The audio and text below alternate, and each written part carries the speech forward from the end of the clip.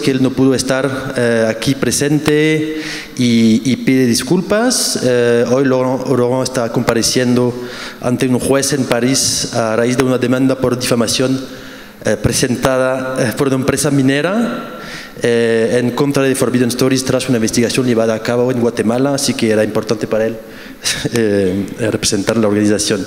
Eh, Forbidden Stories, para, para, si tal vez no conocen, es una organización, una red de periodistas de investigación cuya misión es continuar y publicar el trabajo de otros reporteros que han sido amenazados y silenciados por su trabajo periodístico.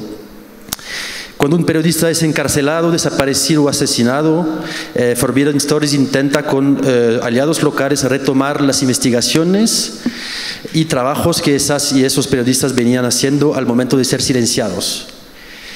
Eh, se trata de el único proyecto con este tipo de misión en el mundo. hoy, el día de hoy les quería presentar una de las últimas investigaciones de Forbidden Stories llamado el proyecto Bruno y Dom, Dom y Bruno. Eh, me imagino que tal vez ya conocen o han oído hablar de esos casos que tuvieron una gran eh, repercusión internacional en 2022. Eh, durante el funeral de Don Philip, su hermana Sian dijo que Don murió porque intentó contar al mundo lo que estaba pasando, ocurriendo en la selva tropical y sus habitantes, y que hay que contar esa historia. Es eso que intentamos hacer con un consorcio Em, Forbidden Stories em, es un proyecto, eh, perdón, coordinó eh, este proyecto durante un año eh, con el apoyo de un consorcio conformado por 16 medios de comunicación y 50 periodistas que se unieron para trabajar, continuar perdón, el trabajo de Bruno Pereira y Don Phillips sobre la destrucción de la Amazonia. Eh, sobre la investigación en sí, em, y para contextualizar un poco, Don Phillips era un periodista inglés corresponsal del periódico británico The Guardian. Eh, él vivía en Brasil desde hace más de 15 años y él cubrió extensamente el tema de la Amazonia y estaba a punto de publicar un libro sobre la, la región llamado Cómo salvar la Amazonia. Pregunte a los que saben. Su amigo y guía eh, Bruno Pereira, eh, brasileño, eh, era uno de los mejores especialistas en comunidades indígenas de Brasil. conocía este territorio mejor que nadie. Fue precisamente durante un reportaje en el Valle del Jabarí, cerca de la frontera con, en, la Amazonia brasileña, cerca de la frontera con Perú y Colombia una región convertida en guarida del tráfico ilegal de madera, de drogas y recursos naturales. Fue en, aquel viaje eh, cuando ambos fueron brutalmente asesinados. Eh, Dom, con el apoyo de Bruno, llevaron a cabo un profundo trabajo de investigación para documentar la explotación sistemática eh, y destructiva de la selva amazónica y sus recursos, un delito medioambiental que nos concierne a todos cada investigación del consorcio arroja una nueva luz eh, sobre eh, este tema crucial que es el saqueo de la Amazonia. A nivel eh, metodológico, todo empezó con una llamada entre Laurent, el fundador de Forbidden Stories, y un periodista llamado Jonathan Watts, que, era, que es el editor de la sección medio ambiente del periódico The Guardian. Jonathan Watts era basado, baseado en Brasil y gran amigo de Don Phillips. Em, en aquella llamada, durante en este momento, eh, Dom y Bruno habían desaparecido en la selva desde unos, hace unos días. Eh, y, Jonathan ya había colaborado con Forbidden Stories eh, en otras investigaciones, llamada, otra investigación llamada Green Blood, y conocía precisamente los temas sobre los cuales Don Phillips estaba trabajando y, y el porqué de su misión en el Valle del Jabarí.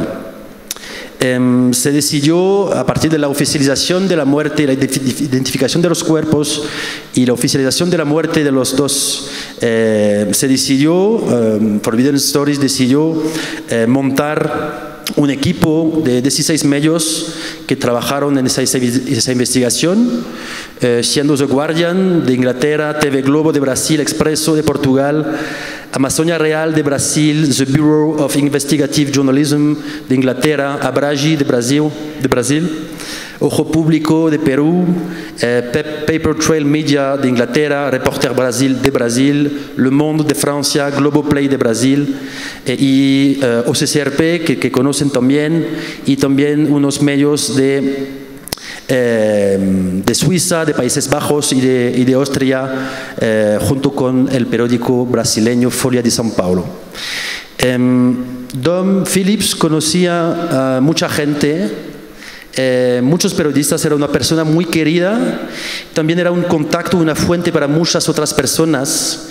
Eh, es bastante raro encontrar una persona tan conectada y apreciada por su humanismo y esto lo comento porque eh, facilitó el trabajo del consorcio. sin ninguna duda, muchos periodistas que lo conocían querían homenajearlo a través de este trabajo y, y obviamente también a Bruno Pereira querían seguir con el trabajo que estaban haciendo en, la selva.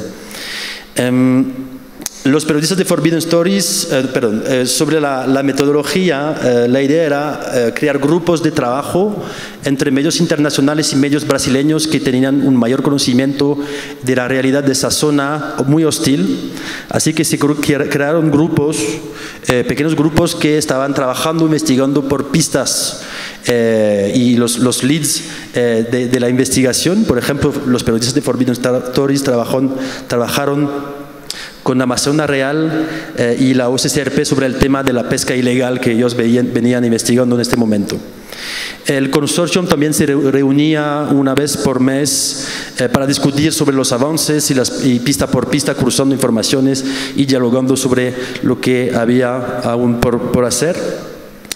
Eh, y las publicaciones salieron después de un año de trabajo un año del asesinato de, Don Phillips y Bruno Pereira en tres partes. Em, los miembros del consorcio publicaron las tres investigaciones, pero también sus propias historias derivadas eh, del trabajo colectivo. Eh, los artículos del consorcio fueron publicados en siete idiomas, portugués, español, francés, neerlandés, alemán, inglés y árabe, y tuvieron gran repercusión a nivel internacional.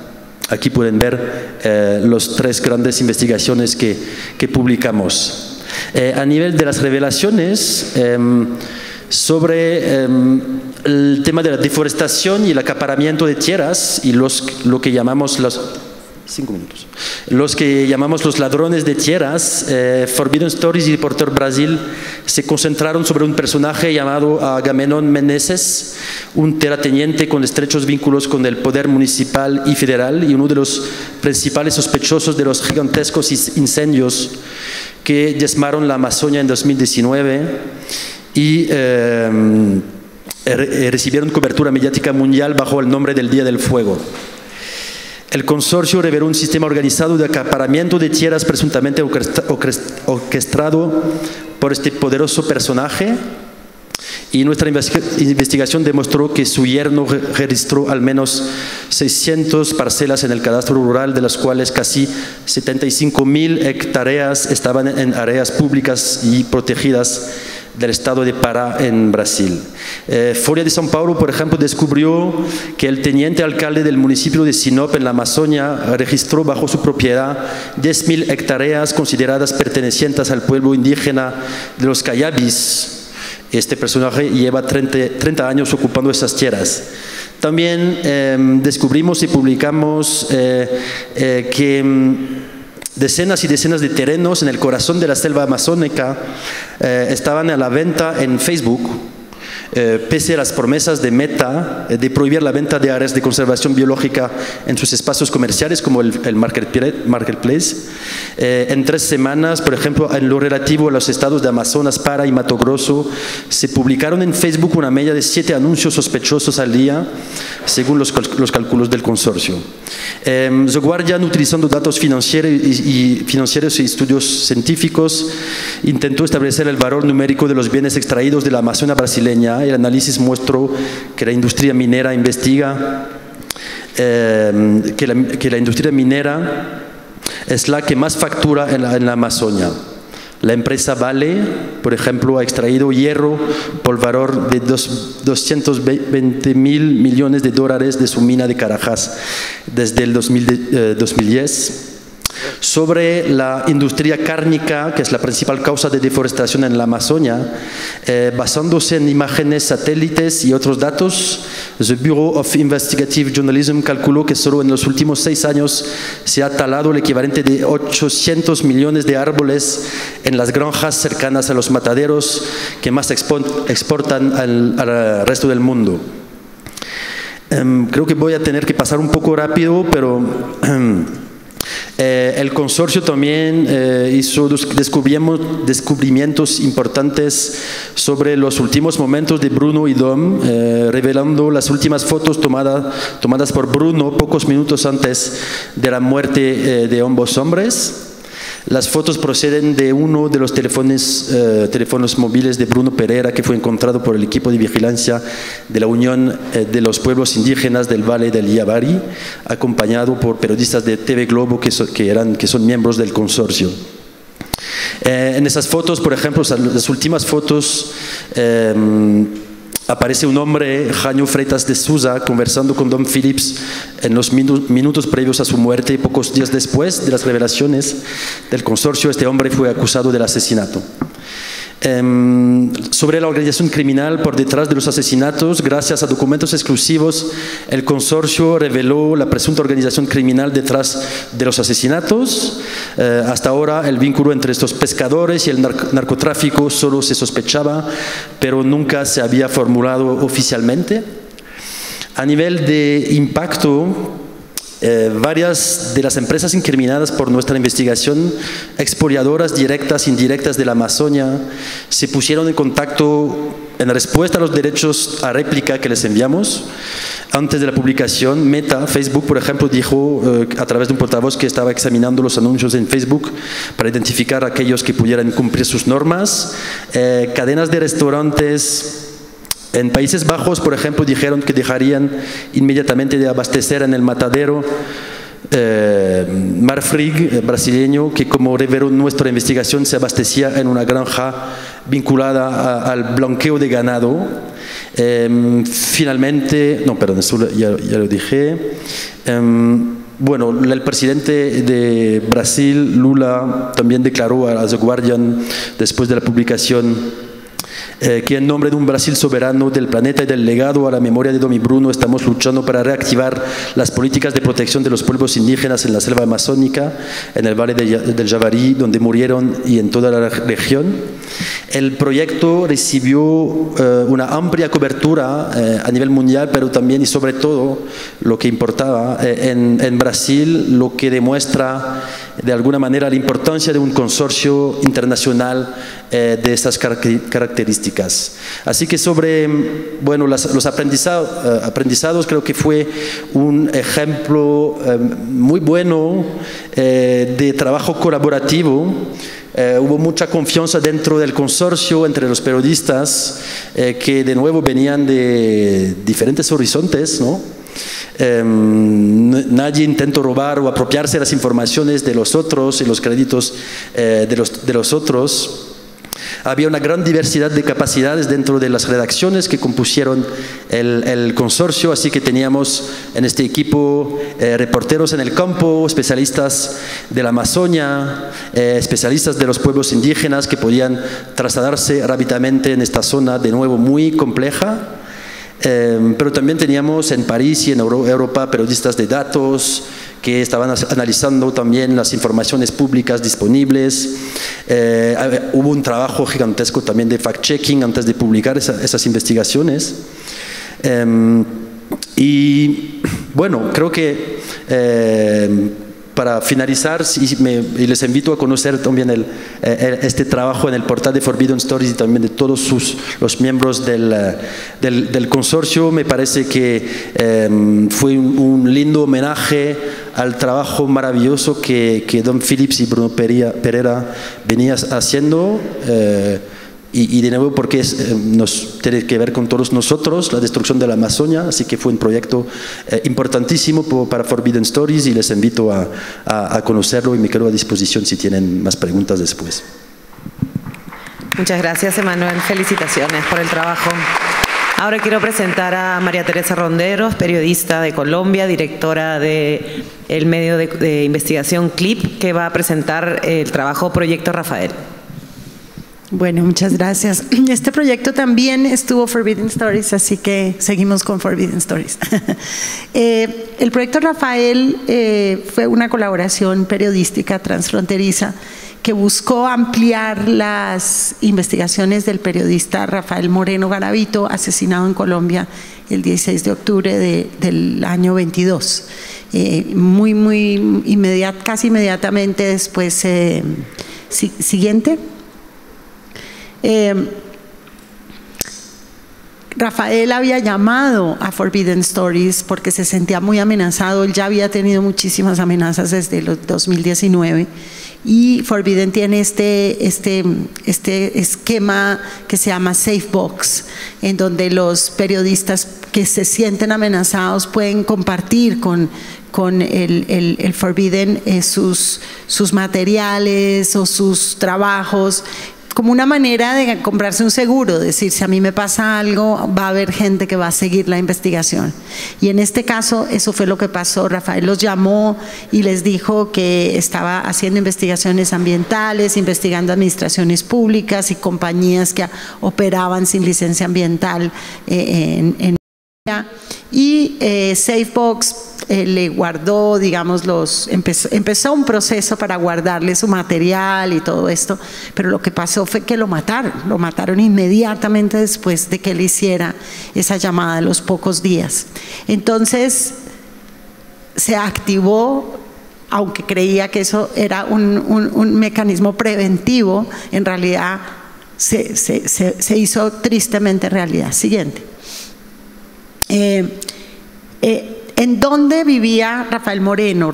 Rafael Moreno vivía en el sur de Córdoba, una un, un lugar con una historia tremenda de guerrillas durante décadas, de nar los narcotraficantes compraron sus primeras grandes fincas allá y después llegaron las guerrillas y empezaron a extorsionarlos y después llegaron los paramilitares y montaron sus grandes eh, operaciones allá. De hecho, Tierra Alta, Córdoba, uno de estos seis municipios donde Rafael se movía, fue como el, la gran sede de los hermanos Castaño. Eh, hubo 290 mil víctimas en Córdoba en esta zona, eh, en estos municipios, que es básicamente un número mayor al número de personas que vive hoy ahí. O sea, fue un nivel de matazón y de violencia brutal. Y en, ese entorno es que Rafael Moreno eh, operaba. Ahora, Hoy en día había ya un gran eh, cartel del narcotráfico que se llama el cartel del Golfo, con unos niveles de corrupción altísimos y todos esos descendientes de todos esos paramilitares y, señores de la guerra son en realidad hoy los políticos de la zona, son los políticos locales de la zona y muchos son el hijo y el, nieto incluso de, de, grandes narcos. Sigamos. Eh, entonces, ¿qué hizo Rafael? Primero Forbidden nos hizo algo maravilloso para el, equipo que armó, porque lo que hizo fue ir a Colombia y en, un, en una presentación de la Fundación Gao dijo a los colombianos, bueno, ¿quién quiere ser parte de este proyecto?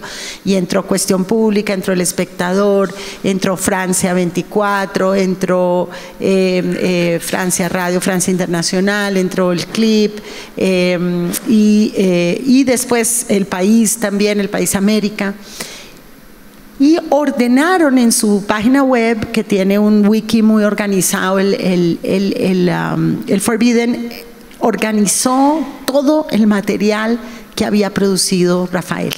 Ellos lograron muy rápidamente viajar a territorio, recoger todo el material que había allí, la familia les colaboró, les entregó todo y allí estaba su socio también les entregó y allí ellos ordenaron y se pasaron semanas el equipo de, de Forbidden ordenando todo el material que, había hecho Rafael, todas sus investigaciones, sus emails, sus derechos, eh, hacía cientos de derechos de petición, él todos los días pasaba, derechos de petición en Colombia llamamos peticiones de información o de transparencia, pidiendo información. Entonces, Rafael eh, creó, tenía un medio local que se llamaba Voces de Córdoba, básicamente en, Facebook, y denunció eh, las mineras que, eh, en, Montelíbano que, que seguían afectándole la salud a la gente, denunció ilegal de, explotación ilegal de caliza en el río Uré, eh, denunció a, su gran mentor, él tuvo un mentor, él estudió Derecho y gran parte de la carrera se la pagó el que era alcalde de, de Puerto Libertador, pero después se pelearon en gran parte porque Rafael creyó que él era un tipo nuevo, que iba a venir a hacer una política distinta y cuando lo vio repartiendo las mismas contratos a los amigos, entonces se peleó con él y empezó una batalla muy grande entre los dos, eh, con el alcalde este de, Puerto Libertador y una especie de, de, poder en la zona, ¿no? de pequeño poder en la zona una de las cosas más graves que hizo Rafael es que denunció que la fiscalía había parado una investigación por violación, que había eh, el acusado de la violación era precisamente el hijo de este alcalde y la fiscalía se la guardó, se la encajonó y él denunció al fiscal por haber hecho esto. Y, y se abrió un proceso penal y esta fue una de las teorías alrededor de por qué mataron a Rafael aunque nunca se pudo probar. Eh, lo amenazaron constantemente, él se mudó eh, eh, a Montelíbano, se fue del pueblo de Puerto Libertador, que era su pueblo, se fue a Montelíbano, montó una, una parrilla que se llamaba Rafa Parrilla, y allí llegaron unos, ya hoy en día sabemos que llegaron unos tipos muy sospechosos unos días antes de que lo mataran, él o el día antes que lo mataran, y después fue el asesinato. Sigamos. Nosotros entonces, ¿qué hicimos? Nos organizamos para seguir las historias. Primero, obviamente, arrojar luz sobre el asesinato.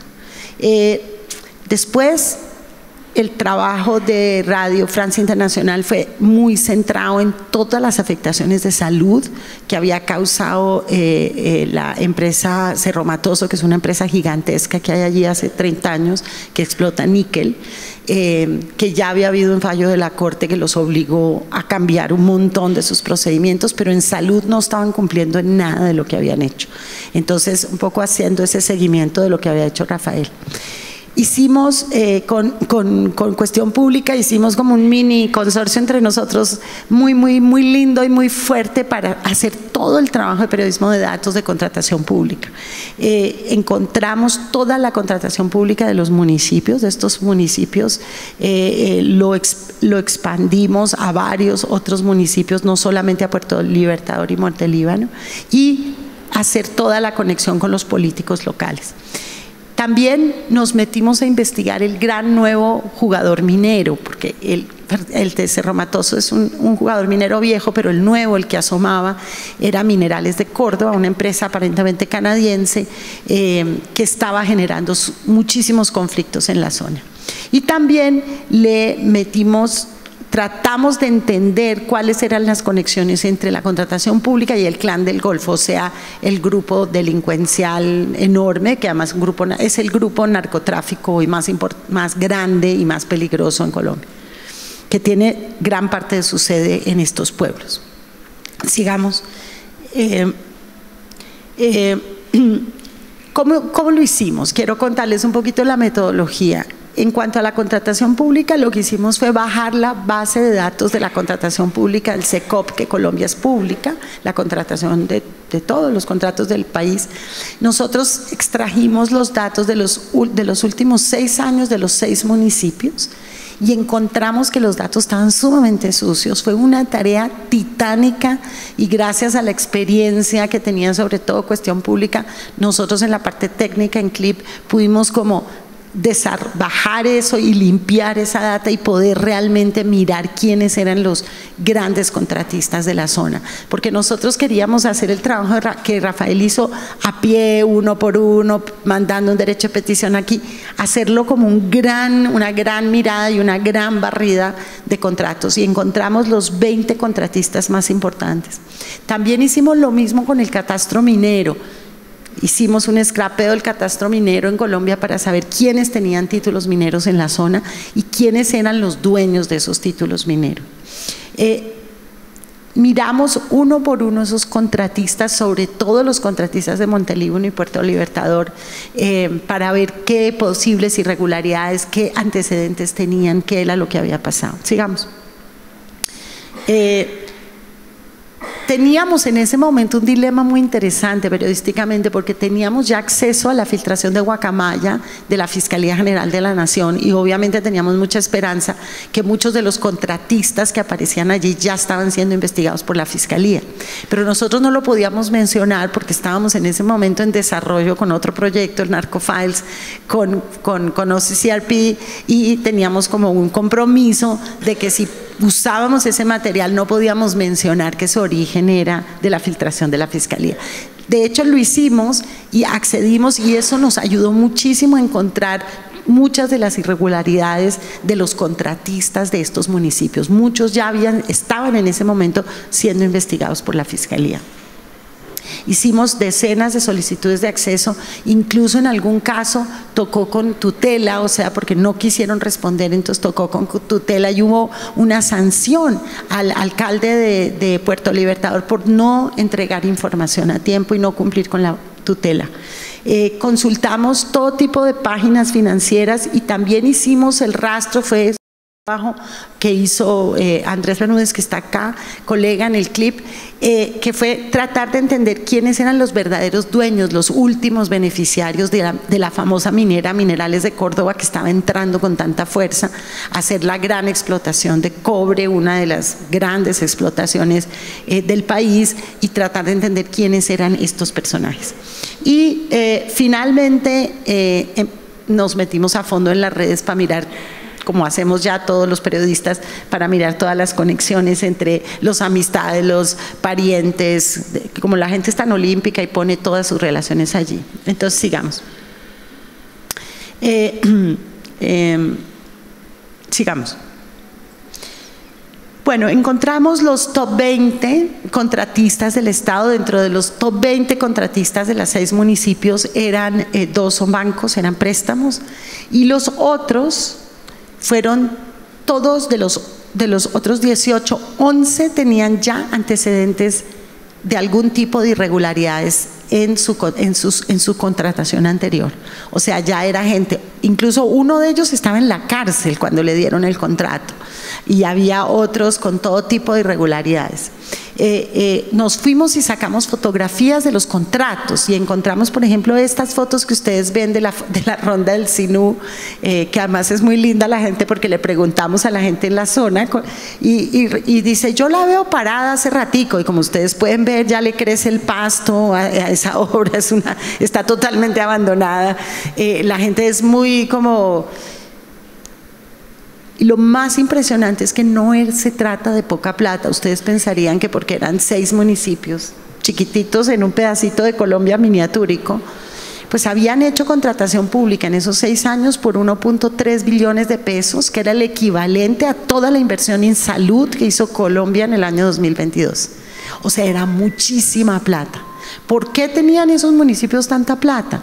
Porque tenían plata de regalías que, se, que, les requiere, que les genera unos nuevos ingresos, pero también porque esa zona es una zona de guerra y para en los procesos de paz con las FARC y en los procesos de paz se hicieron unos aportes especiales, unas inversiones especiales en zonas que se llaman, en zonas de rehabilitación de la guerra. Entonces entraron chorros de dinero y esa contratación se le entregó más de la mitad de los, ah bueno, y de toda la contratación pública del 1.3 billones, estos 18 contratistas se llevaron más del casi el 20, más del 25% de toda la contratación pública. Entonces, nos dimos cuenta que estaba muy concentrada en unas pocas manos y además de eso eh, con, una, con un montón de gente con una cantidad de antecedentes penales terribles que, o, de, o de mala contratación. Sigamos. Em,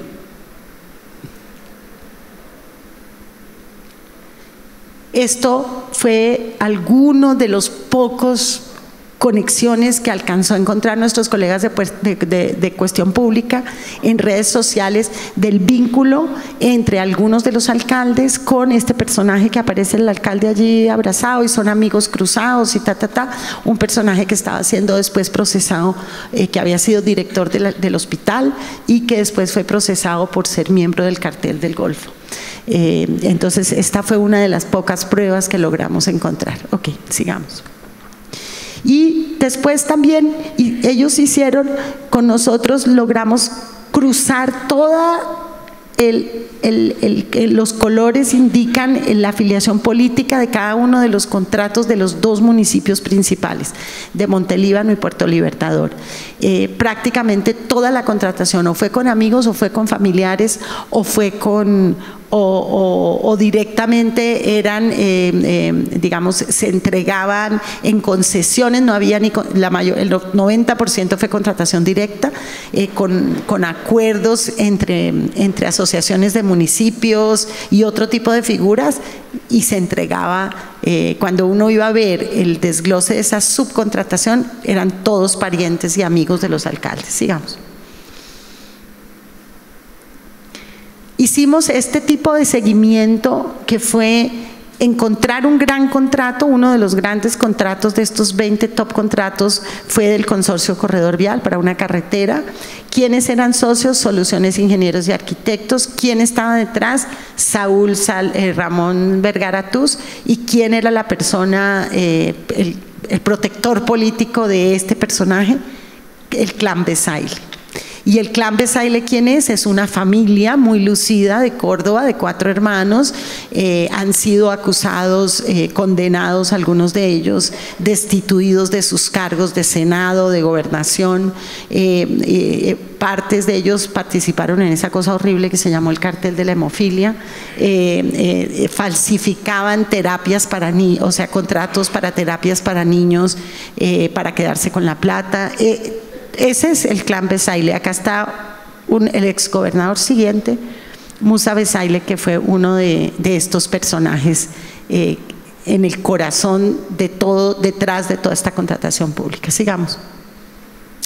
Después también nos metimos con las grandes mineras. Acá está lo que fue la visualización del, gran, del catastro minero. Sigamos. Y aquí fue el otro gran hallazgo de esta investigación, y es que descubrimos que esta empresa minera, eh, Minerales de Córdoba, se había quedado con 21 eh, títulos mineros, los había acumulado por debajo de cuerda. En papeles estaban a nombre de distintos, pero ellos los fueron comprando y acumulando o se fueron fusionando con otras empresas y terminaron controlando toda la zona de, Puerto Libertador donde va a ser la explotación de oro y de, y de cobre. Y allí había entables mineros muy antiguos, los sacaron corriendo a estos pobres, eh, hubo muchas amenazas y cosas horribles. Y además encontramos, porque la colega Ivonne Rodríguez hizo un trabajo muy a profundidad y encontró que había por lo menos eh, como el 60% o un porcentaje alto de de toda la, ¿cómo se llama? De toda la, eh, eh, de, la restitución de tierras para las víctimas, tanto de comunidades afro como de comunidades indígenas, como de personas individuales, campesinos, estaban concesionadas en esas concesiones mineras. O sea, esta empresa que está por arrancar explotación, todavía no ha arrancado, está a punto de de, abrir enormes troneras y enormes rotos de, minería a cielo abierto en tierras que están pidiéndose como restitución de personas que se las robaron, los, los, paramilitares sobre todo, se, los, se las robaron durante los años de guerra y están tratando de que se las devuelvan. Y el mismo Estado con una mano entregó los títulos mineros y con la otra entregó. Y finalmente, para terminar con un tono un poco más eh, liviano, pero divertido, cuando hicimos la investigación eh, de quiénes eran los dueños de esa minera y nos fuimos para atrás, para atrás, para atrás, nos encontramos con este señor eh, Robert Fierland. ¿Y, y eh, qué tiene que ver ese señor con los Crazy Rich Asians, con la película de los ¿qué? asiáticos locos y ricos? Eh, pues que este señor fue el dueño de Ivanhoe eh, Films, que era el mismo, eh, que, fue el productor de, de, esta película, y este señor es un magnate minero monumental gringo que vive en Singapur y es el dueño de Ivanhoe Electric, que en realidad es la dueña de la supuesta minera canadiense. La minera canadiense en realidad es de una sociedad entre una empresa Hong Kong y una empresa del señor eh, Liedland, que fue el productor de eh, Crazy Rich Asians. Pero lo interesante era que la gente localmente no tenía ni idea que esa empresa era de, eh, de este magnate americano con una empresa china, la JMCHX. Em, bueno, ¿Cuál fue el impacto de esto? Y esta es la parte más difícil. Una, cuando cumplió un año de muerto Rafael Moreno, esto se publicó en abril, cuando cumplió un año de muerto ahorita en octubre, eh, otros de los socios, eh, Cuestión Pública, eh, sobre todo, se echó al hombro y sacó una gran investigación, unos nuevos hallazgos sobre la última investigación de Rafael Moreno. Pero el caso no, no se ha movido, la fiscalía no ha investigado quién mató a Rafael, tiene millones de elementos para investigar, eso se quedó ahí congelado. Y lo más triste es que cuando fuimos a territorio y hablamos con la gente, porque esto implicó un montón de viajes de todos los socios, incluido Forbidden a territorio, es que la gente allá escondió esta cosa. Nadie mostró nada, no salió en un medio local. Yo hablé con el director del periódico más importante y me dijo, yo no sabía ni que eso existía. O sea, localmente, a pesar de todas las alianzas que hicimos, a pesar de todo lo que hablamos, la gente sí supo que había, pero no lo comentaban, porque era tal el miedo que había en Córdoba toda la gente que fue fuente mía y fuente de varios de los colegas con los que yo hablé, todos dijeron, no contamos nada, no hablamos nada, eso nos va a quedar para el futuro. En este momento es demasiado, es demasiado, demasiado caliente la zona, como dicen allá, y, te pueden matar por, por, abrir la boca o por repostear una cosa de estas. Entonces sí, ha sido, ha sido un impacto sórdido, difícil, que esperamos que después de todas maneras tenga su, tenga su impacto cuando haya un poquito de, de aire. Pero por ahora ese, ese fue. Gracias. Gracias. Gracias, María Teresa. Finalmente vamos a pasarle la palabra a Cristian Zurita, eh, periodista de Ecuador, que va a contar el caso de Fernando Villavicencio. Gracias, un gusto saludarlos a todos ustedes. Eh, me siento muy honrado de estar aquí presente eh, con periodistas tan valiosos, tan valientes que representan lo mejor de América Latina y de unas historias únicas que se pueden contar solo en este continente. Eh, yo no vengo a contarles un proyecto, tampoco vengo a contarles eh, una investigación. Lo mío es un testimonio. Y es un testimonio en primera persona. Eh, porque a quien están viendo, que es Fernando Villavicencio, ¿sí? tuve la oportunidad y la suerte de ser su amigo. Levantamos dos libros, constituimos dos libros y un portal eh, muy poderoso que en los últimos eh, diez años hizo cosas únicas en el Ecuador. Él optó por la política, yo seguí de alguna manera en el periodismo, pero al convertirse en un fiscalizador de la corrupción, de alguna manera nos mantuvo extremadamente unidos, tanto él desde la política y yo desde el periodismo. Y eh, pues él decidió optar, después de que el presidente Guillermo Lazo decretó lo que en Ecuador se conoce como muerte cruzada, que es la posibilidad eh, de mandar a la Asamblea Nacional a su casa y llamar a nuevas elecciones únicamente por el término que le correspondía el periodo al, entonces presidente Lazo, que es de un año, pues eh, fuimos a elecciones y él decidió participar. Él fue asesinado el 9 de agosto de este año, mañana cumplimos cuatro meses, es un tema extremadamente caliente en Ecuador, que lo único que ha generado es una condición de autocensura política y periodística, a tal punto que ya nadie se atreve a hablar sobre quienes pueden estar directamente relacionados como autores intelectuales y como autores materiales de este crimen.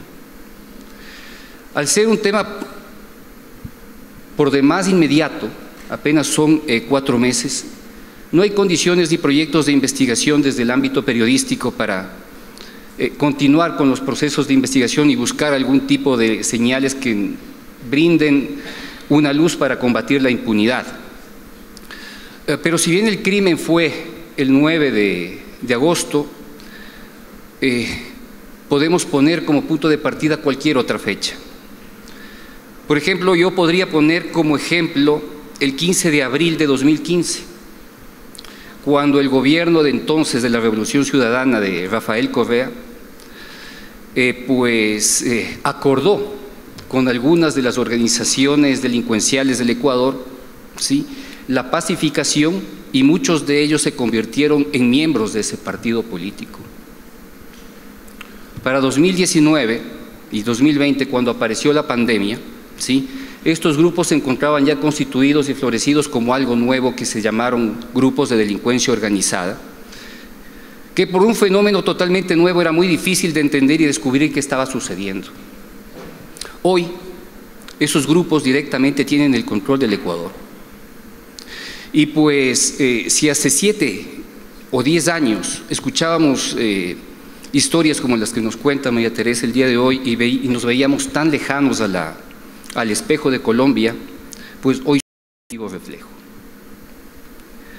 En Ecuador, los grupos de delincuencia organizada, que en realidad se han convertido en carteles, y es una de las razones por las cuales el FBI va a incluir como una oficina permanente a Ecuador, porque tienen ya la posibilidad de eh, autónomamente enviar cargamentos uh, de drogas, sea a Europa, sea a los Estados Unidos, eh, sin tener eh, una, eh, una tutela de los carteles mexicanos, pues es algo novedoso.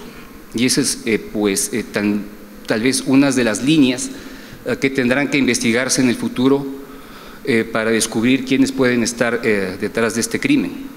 O también podemos entrar por otra fecha, que también va por abril de 2015, cuando Fernando Villavicencio descubrió sí, contratos en la repotenciación de la entonces refinería Esmeraldas, la principal que tiene el Ecuador, que refina aproximadamente 150 mil barriles de crudo, ¿sí? contratos por 2.500 millones de dólares, ¿sí? en los cuales prácticamente un 45% ¿sí? estaban directamente ligados a hechos de corrupción.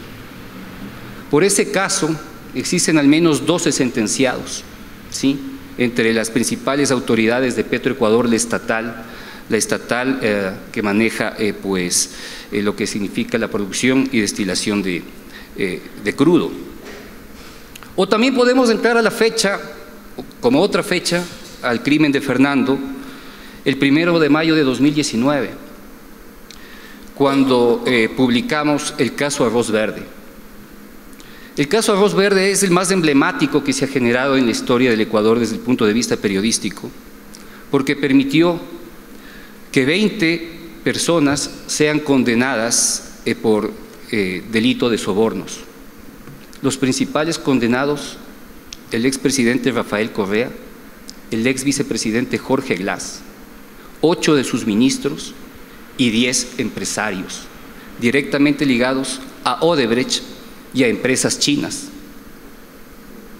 Y si quisiéramos entrar por otras fechas, podríamos poner eh, diciembre del año pasado, cuando Fernando Villavicencio emitió el informe desde la Comisión de Fiscalización, en el cual identificaba el perjuicio de 4 mil millones de dólares en la venta de crudo ecuatoriano en acuerdos directamente con Petrochina, dentro de lo que significa eh, un ámbito eh, muy grande de endeudamiento acelerado y forzoso que tuvo ese país en Ecuador.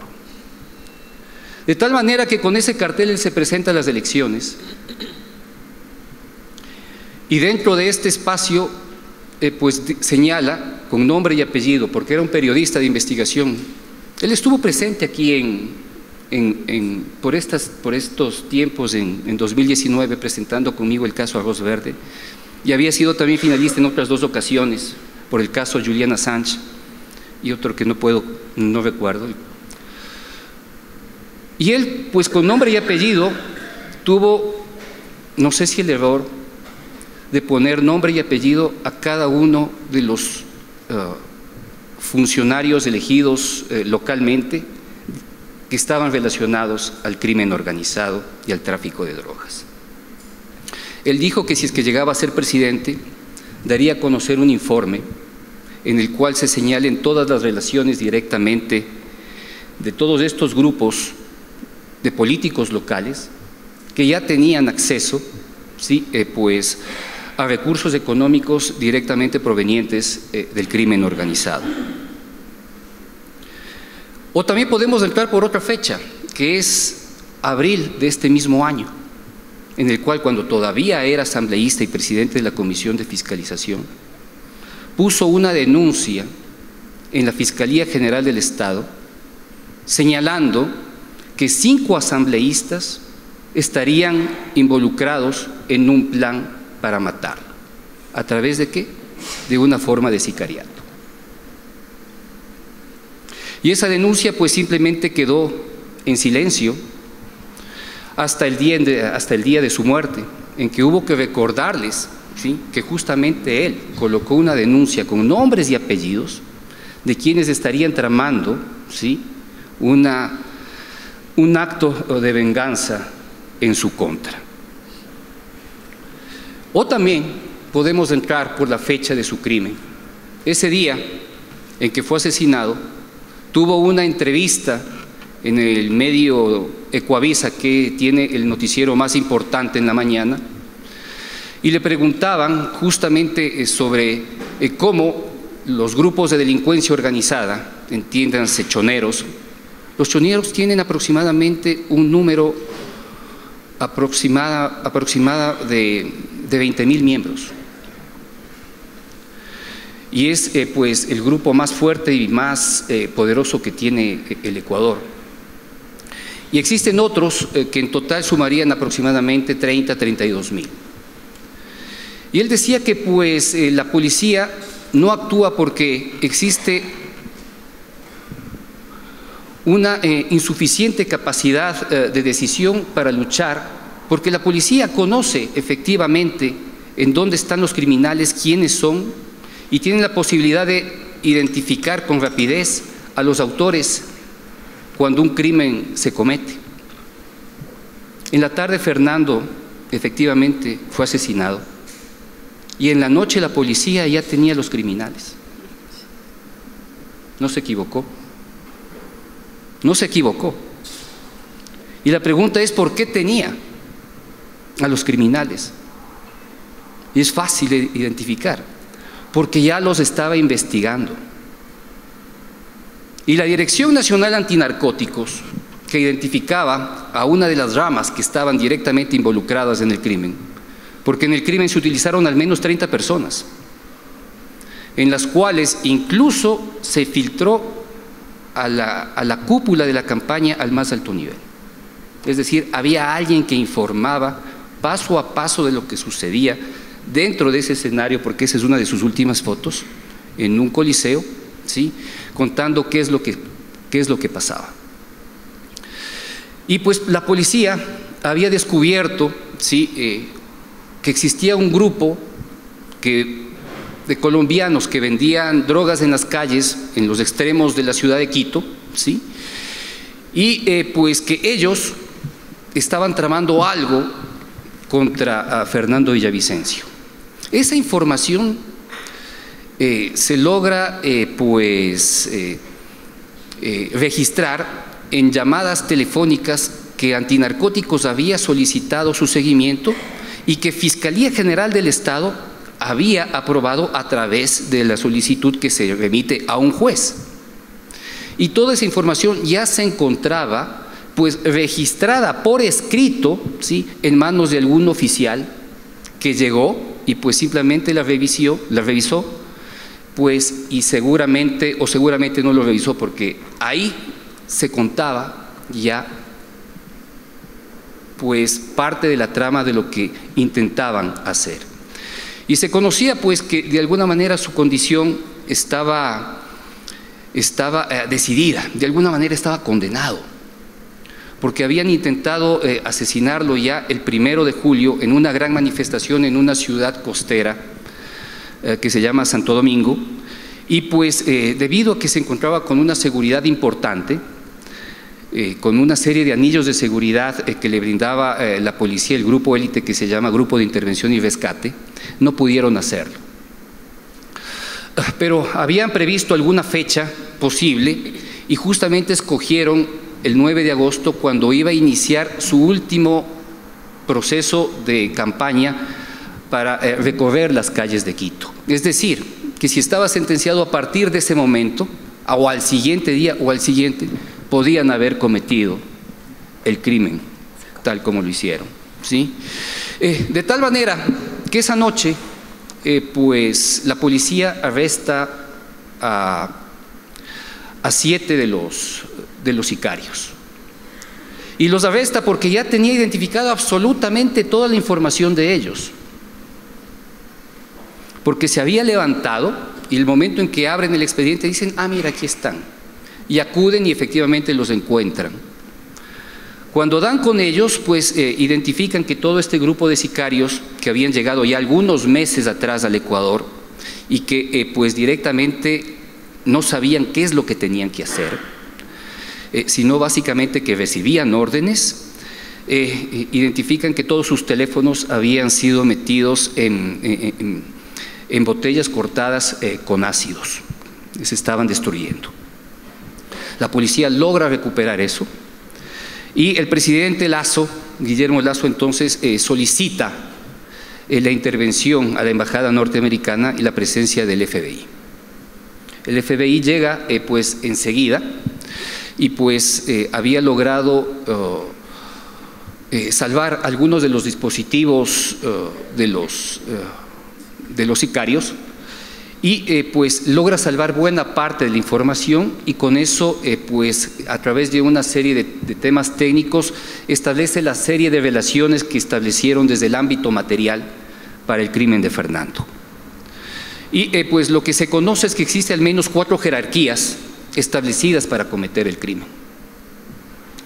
La, la principal, a través de una organización llamada Los Lobos, que tiene un espacio satélite, es decir, no es que es una organización única, sino que tiene además sus grupos satélites, y que su principal líder que se encontraba en la cárcel, en la principal cárcel que se encuentra en el centro del país, en una ciudad llamada La Tacunga, en la cárcel de La Tacunga, con un sistema de internet completo, había sido quien había buscado a un grupo de delincuencia que trabaja en las, en las periferias de la ciudad de Quito para que contrate al grupo de colombianos. Y pues directamente luego se identificó que él mismo, un hombre eh, de apellido Angulo, ¿sí? Eh, pues se encargó de dar las órdenes y pues eh, de dirigir a quienes ejercieron los disparos que acabaron con, con la vida ah, de Fernando. Eso quedó en evidencia y esto va a quedar, pues, se va a exhibir este próximo 19 de agosto, 19 eh, de diciembre, cuando la Fiscalía presente la formulación de cargos ante los jueces de quienes aún sobreviven, ¿sí?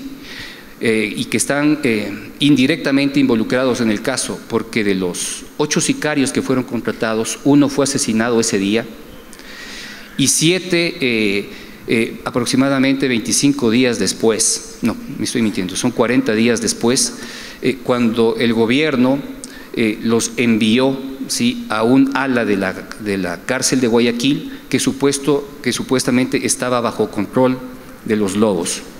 Como tenían cierto control, eh, pues lo que hicieron es eh, no matarlos brutalmente como están acostumbrados a hacerlos en el Ecuador, sino que los envenenaron. ellos murieron pues en una, ah, en una celda y luego con complicidad de las propias autoridades del Sistema Nacional de Prisiones, fueron trasladados a otra ala de la cárcel, donde, donde fueron colgados y se pensaron que efectivamente habían sido eh, pues, eh, torturados. La verdad es que murieron envenenados Y pues al resto del grupo, que son aproximadamente siete más, intentaron matarlos en diversas cárceles. dentro de ellos, ¿sí? Existió un detenido que fue pues, tratado con, con mucho sigilo y con mucha reserva e interrogado por el FBI. Y pues eh, para evitar que exista cualquier tipo de, eh, de hecho violento contra él, eh, se solicitó a través de la Fiscalía General del Estado y la Policía Nacional, pues un, el inicio de un, de un proceso judicial aparte en el cual se cuente con la versión juramentada ¿sí? de este actor que directamente participó en el crimen. ¿Qué pasó con este sujeto? Eh, pues era parte de uno de los, de los, de los chicos, de los sicarios que estaban, eh, pues, que iban a atentar eh, esa tarde del 9 de agosto, pero su moto se daña y él no puede llegar al lugar. Como la policía tenía identificado a todos los grupos a través de las investigaciones anteriores que los ubicaba por la venta de drogas, él es capturado días después. Y pues y después de una serie de, información cruzada que se encargó sobre todo un grupo élite de la policía ecuatoriana con mirada del FBI, eh, pues eh, procedieron a que esta persona eh, pues rinda su, su versión bajo juramento. ¿Qué es lo que dijo? ¿Y qué, es, ¿Y qué es lo que se le puede pedir a un joven, 18, 19 años, ¿sí? que eh, pues eh, no conoce absolutamente nada de su entorno y políticamente. Lo único que alcanzó y pudo decir es gente que estuvo relacionada al Partido Revolución Ciudadana. Y es la única línea existente para entender que pudo haber pasado eh, con la condición de Fernando Villavicencio con, respecto a lo que son sus autores materiales. En Ecuador en este momento, como les había dicho, existe una condición de silenciamiento total en el, que básicamente se espera respuestas de la Fiscalía General del Estado y eh, pues no existe todavía una eh, respuesta amplia por parte eh, del nuevo presidente Daniel, Daniel Novoa. Y pues desde el ámbito periodístico lo que se ha hecho es básicamente algo parecido de lo que ustedes están haciendo, solo que nosotros apenas estamos comenzando, lo hemos llamado pues los cold case o los casos fríos de Villavicencio, donde en primera instancia lo que vamos a hacer es constituir una enorme línea de tiempo e enorme línea de protagonistas de todas las denuncias que él en su momento hizo, no como una condición de búsqueda de impunidad y encontrar a los responsables, pero sí como una forma de reivindicar el nombre de, de quien fue tal vez el periodista mejor informado y más valiente que ha tenido el Ecuador.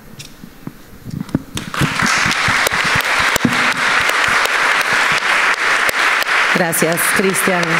Em, bueno, no tenemos tiempo para preguntas, lo siento, pero pueden encontrarse con Cristian o Emanuel o María Teresa para profundizar sobre el trabajo que, que han hecho y que están haciendo. Muchas gracias y nos vemos en la siguiente mesa que es a las 3 de la tarde.